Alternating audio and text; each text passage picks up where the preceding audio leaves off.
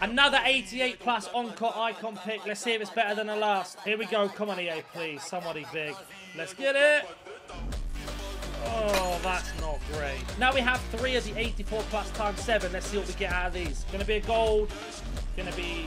Oh, oh that's Harry Kewell. So we got a hero there. We'll take a promo. Let's go. Is it the good one or the worst one? It's the 89. It is also a double walkout as well, so let's see what else is in this pack. Come on, EA. It's going to be Modric 87, an inform, and then we've got ourselves a couple 84. So our second one then, what's it going to be? Let's see. English, right wing is Mead, and it's a double walkout. What's the double walkout going to be? And it's going to be Rodri 89. So let's see if there's anything else in this pack.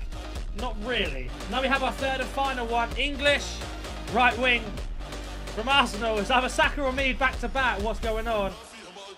Now we have an 86 plus Encore hero upgrade. Let's see if it's better than our icon pick. French, striker.